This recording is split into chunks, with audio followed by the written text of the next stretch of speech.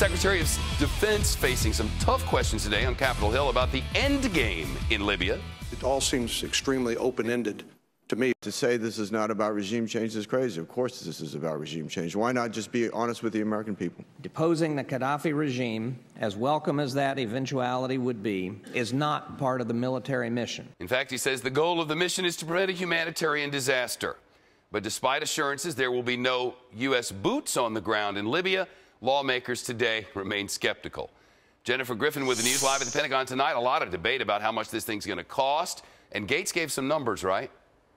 He did, but he also warned this could be a stalemate. It could end in stalemate. He said it had costed, as of Monday, $550 million.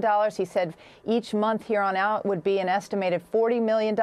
He also reminded Congress that there are 18,000 U.S. service members helping out in Japan right now.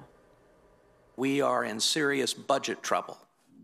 Uh, the, the ongoing CR and, and significant budget cuts at a time when we are asked to do so much, uh, I think brings this issue home. And, and frankly, uh, I need help from the Congress. The Department of Defense needs help from the Congress. If we're going to do all these things, we need the resources to do them. Gates was visibly annoyed with the questioning on Capitol Hill today.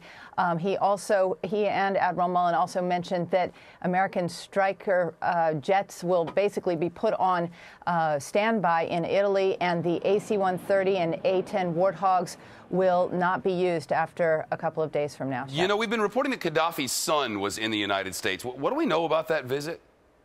Well, we know a little more tonight. We know that the State Department, a State Department representative, met him at the airport and was with him through the entire visit, that it was organized uh, through Pentagon officials, through the Air Force, that he went to the National Defense University as well as to the Air Force Academy. He met with the deans of faculty there.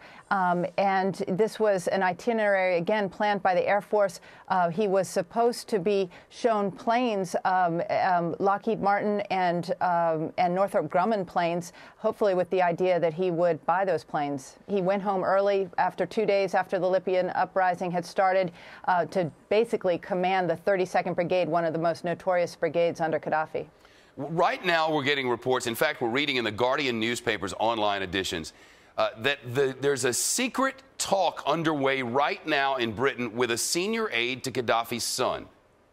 Well, this is a different son. This is Saif, uh, Saif Gaddafi, and we're hearing a report. We're working on confirming it right now, but The Guardian has reporting that Mohammed Ismail, a key aide to Saif uh, Gaddafi, has arrived in London for talks about a way out, a way out of the, the situation. Uh, there are reports that Gaddafi's sons are concerned that their father won't survive, and they're looking to end this. This is another key defection if, in fact, uh, this, this envoy is in London. We've seen seen defections in Egypt now. Uh, the deputy head of mission in Britain may also be defecting. There were two senior uh, defections today. So we're seeing some of Gaddafi's inner circle looking for a way out tonight.